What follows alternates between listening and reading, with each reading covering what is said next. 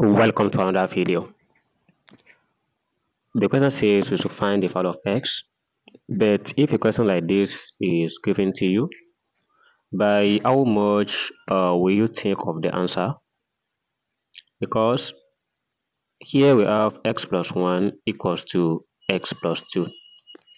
x plus 1 rather. And looking at these questions, uh, we must know that the right hand side of this is equals to the left hand side all right?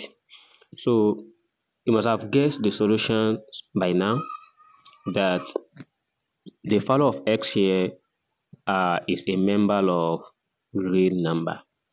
So any value we plug in here uh, they must be equal as far as they are member of a real number.